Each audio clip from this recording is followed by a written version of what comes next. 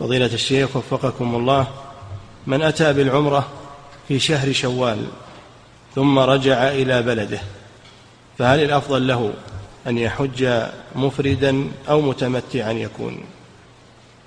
هو مخير لكن إن أراد أن يتمتع لازم من عمرة ثانية.